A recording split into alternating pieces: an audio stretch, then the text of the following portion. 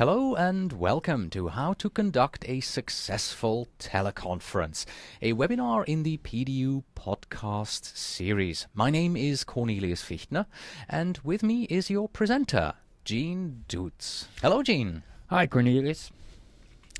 Let me introduce you to our listeners. Uh, here's a picture of you. You are working as a business analyst and you have a particular emphasis on identifying and resolving problems that impede the information flow. I like your driving philosophy here. It says uh, take advantage of every tool in your problem resolution arsenal. That means that uh, if you have a screw to screw in, don't use a hammer. Use a screwdriver, right? That's absolutely Uh, correct. Exactly. And also, you have a uh, Bachelor of Arts in Liberal Arts from the California State University of Long Beach and an MBA from Pepperdine. And if I remember correctly, you also were active in the PMI Orange County chapter, right? Yes, I was very active in that chapter. All right. And what makes you qualified to talk about teleconferencing to us here today? Well, basically, it's- the experience that I've had in teleconferencing. Uh, many teleconferences have been poorly run. And taking that into consideration, I decided, hey, I can put together something that I think will be very beneficial to uh, anyone who wants to be very proactive, very uh, let's get it done. Let's make sure that the conference, teleconference goes along and I'm getting the participation that I need. The people are getting the information they need. So that was my goal in putting this together. All right. Then let's get started with the introduction. Welcome, everyone, to Teleconferencing Made Easy. There are certain procedures you need to follow if you want to have effective and efficient teleconferencing. To begin with, you want to stop conducting unsuccessful teleconferences, you want to start directing productive ones, and you want to adopt the six success ingredients to guarantee a favorable outcome to this goal. How many times have you participated in a teleconference that adheres to its stated time period, delivers on its declared purpose, and encourages members to participate? Always? Sometimes? Never?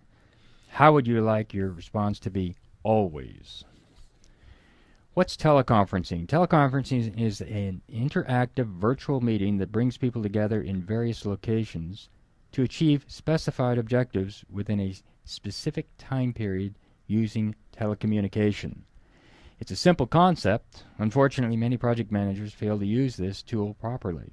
They treat it as merely a means to get their message to as many people as possible without regard to the audience, the content, the cost, effectiveness, and a number of other elements that increase the teleconference's efficiency and effectiveness.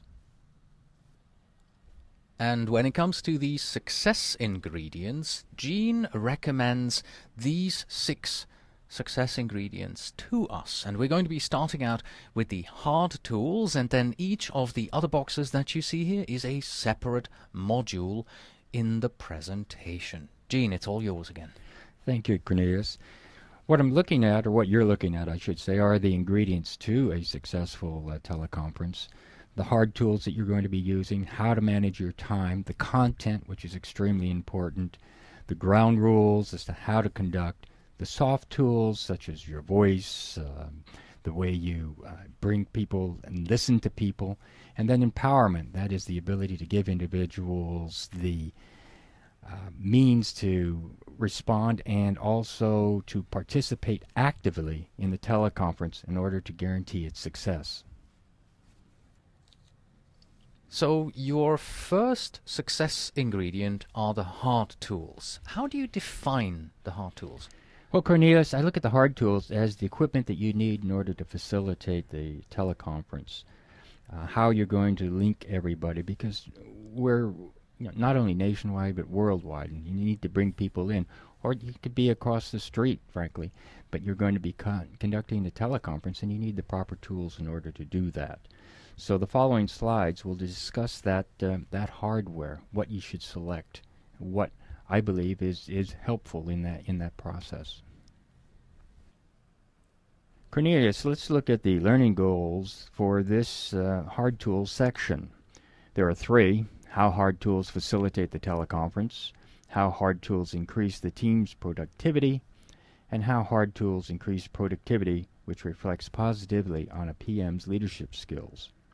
If you want to have a productive teleconference, then you need to have some basic equipment, most of which is already in place or easily available.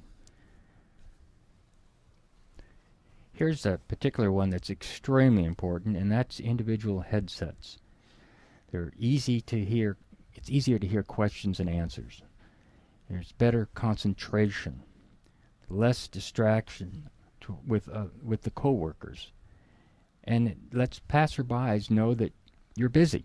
Oh, So so, they when they walk past your cubicle, they see I'm wearing a headset, and they know, oh, I shouldn't be disturbing him. Shouldn't be disturbing you. I'm not going to have a, a mini conference next to you while you're in there with your headset on, realizing that you're probably involved in either some type of teleconference or learning Right. experience. Yeah, and if you're just having, you know, if you just have the uh, the telephone receiver at your ear, how many times has it happened that somebody walked up to your cubicle and they wave at you and they make signals? But as soon as you have a headset on, that gives you an additional sort of almost like a shield around you.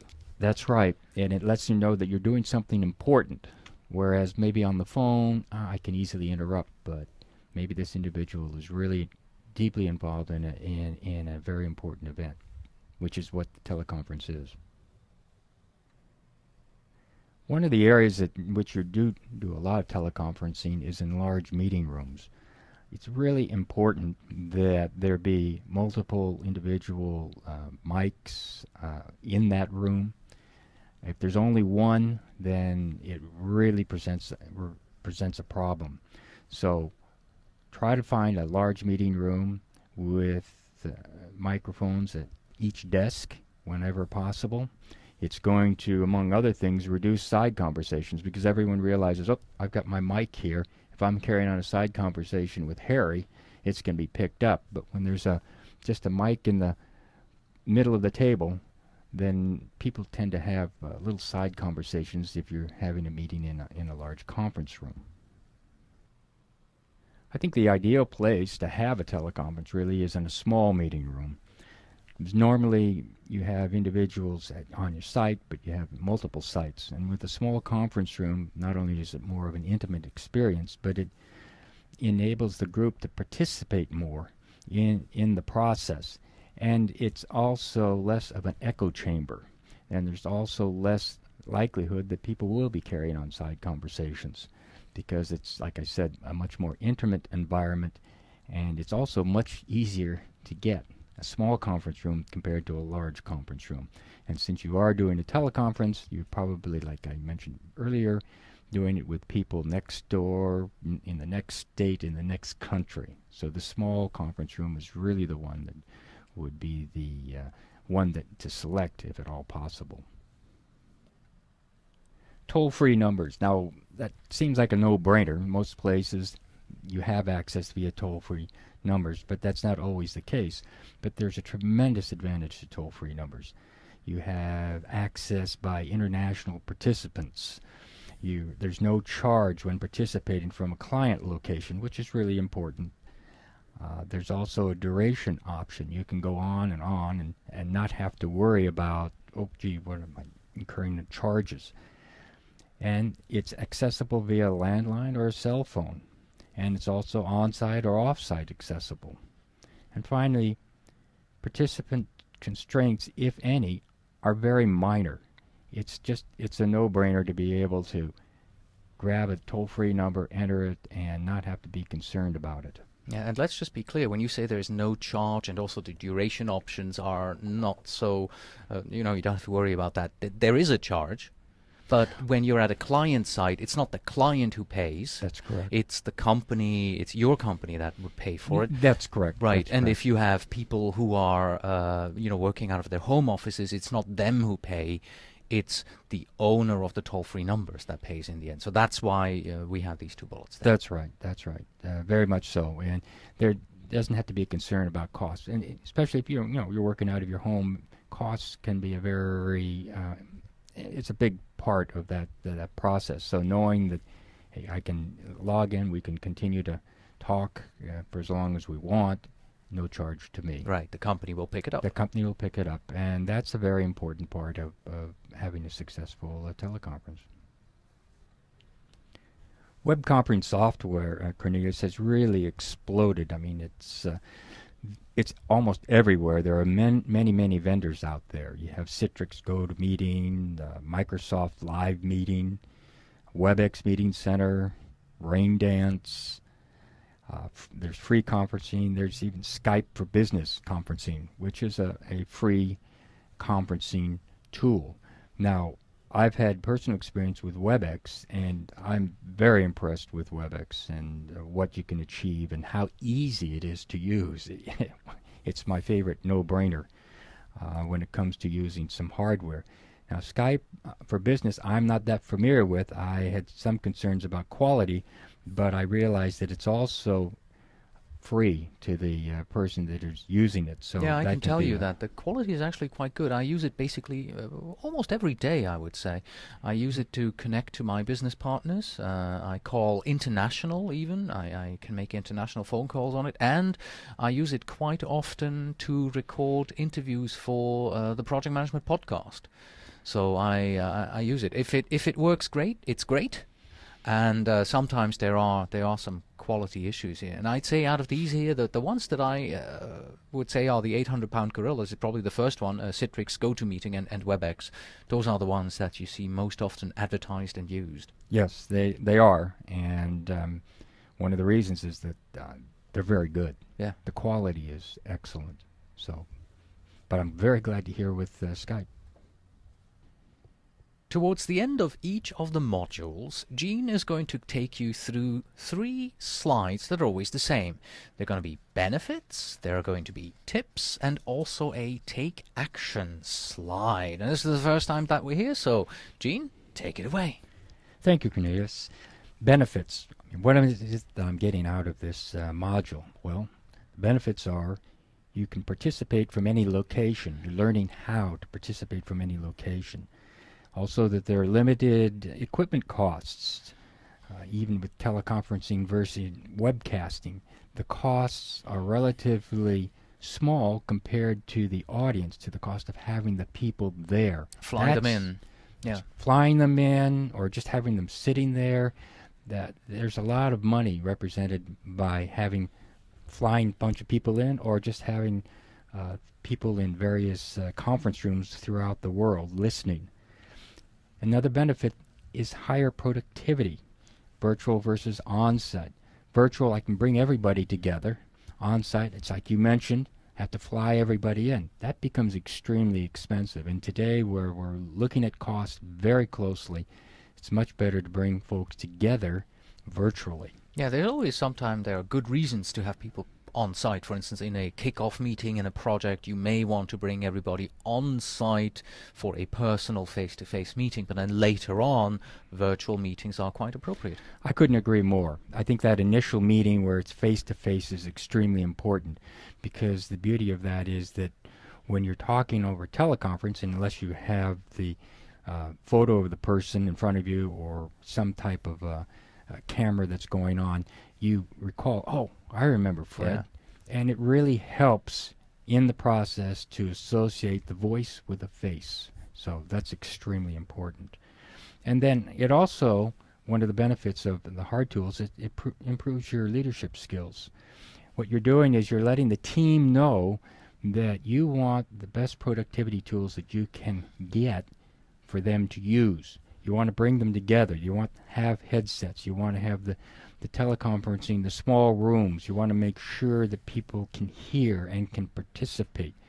That's why you want good hard tools to do that job. Now, it may not be obvious for the people to actually realize that, so you may actually, may actually need to tell them that this is what you're doing Yes. for them. Yes, yes, I, and that's part of the selling to upper management. This is why we need headsets. This is why trying to get the uh, the appropriate conference room with the appropriate equipment in it. It really lets them know that we want to be productive, we want to get the job done, we want to contain costs, and we want to meet our deadlines. Right. The last bullet point that you have here is team productivity under improved leadership skills. How do those two connect? Well, the team once again is it.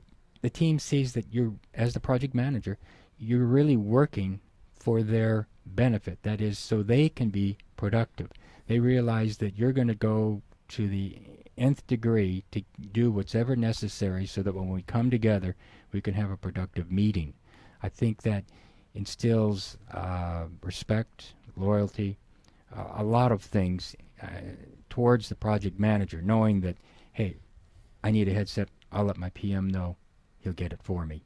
Uh, we need a particular conference room. The PM will make sure that we get the, the conference room. Uh, we want to use WebEx. PM can be instrumental in making sure that we get that. Uh, the participants don't have to think about the hard tools. They can focus on why they're there, what the objective is. I don't have to worry about, gee whiz, I got to bring my own headset, or gosh, am I going to have to foot the bill for this WebEx, or things like that. It's, once again, my favorite no-brainer. It allows people to focus on the content, on getting the job done. What tips do you have for our participants in regard to hard tools? Well, there are two tips uh, for hard tools. Uh, the first one is make sure you road test any equipment before you purchase it. Uh, get some type of trial. If it's headsets, you know, you, you want headsets that work, that are comfortable. If you're using a particular uh, web software, you want to make sure that it fits with uh, your needs. You road test it, and all the vendors will give you the opportunity to do that. So be sure to take that opportunity. The other one is make sure all the approvers for the equipment acquisition know the cost benefit. Um, just don't think, wow, these are terrific headsets. I'm going to go grab them. Uh, make sure that senior management is in line with whatever those uh, costs might be. Um, I remember one time when I decided that I would go out and, and get some uh, some equipment, and uh, I did, and then uh, found out later on that senior management was not happy because they thought it was very expensive. I didn't do the groundwork of demonstrating to them the cost benefit that how much more productive the people would be with this equipment. If I had done that, then I wouldn't have had to spend time in my boss's boss's office explaining why I did what I did. He still went ahead with it, but it's something that could have been avoided. Now it's time to take action. We've I've provided you with some worksheets that'll assist you in obtaining headsets, uh, venues, teleconferencing software. Now, maybe you already have all of this stuff, and if you do, that's great. However, I think that these worksheets might help you in assessing um, do I have the best headsets for the job? Are the venues that I'm using the best for, once again, the conference? And what about the teleconferencing software? Is the cost benefit there? So I have a worksheet for each one of these. There's a headset worksheet, a venues worksheet, and a teleconferencing worksheet.